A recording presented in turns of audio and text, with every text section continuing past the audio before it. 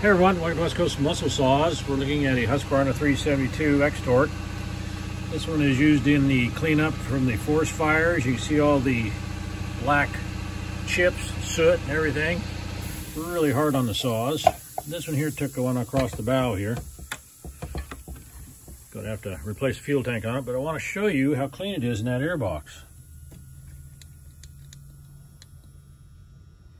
And the reason being is um, putting these pre-filters on, you can see this started out as a green filter. And you see how black it's gotten and how clean the OEM filter is, staying fairly clean with this debris that they're burning it in, or running it in, excuse me. Anyway, I do have some of those pre-filters. You do oil them with some um, foam filter oil. It makes all the difference in the world of longevity on these chainsaw engines that are used up in the fires.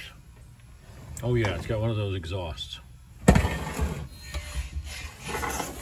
Any questions, you know how to get a little chainsaw guy.